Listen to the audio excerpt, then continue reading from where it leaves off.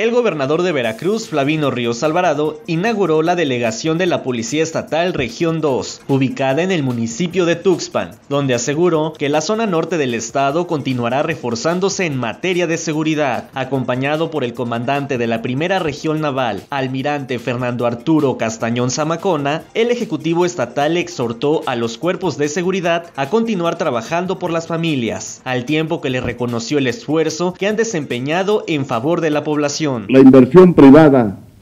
nacional y extranjera viene cuando se cumplen dos requisitos. Primero, que haya seguridad pública eficaz y eficiente. Segundo, que haya certidumbre jurídica, que con el respaldo del gobierno federal, con la coordinación y con la colaboración de los señores presidentes municipales, y el esfuerzo que hace el gobierno de Veracruz, estamos trabajando para brindarles a todos los veracruzanos, pero en especial a estos 10 municipios de la zona norte del estado, una mejor y una mayor seguridad pública.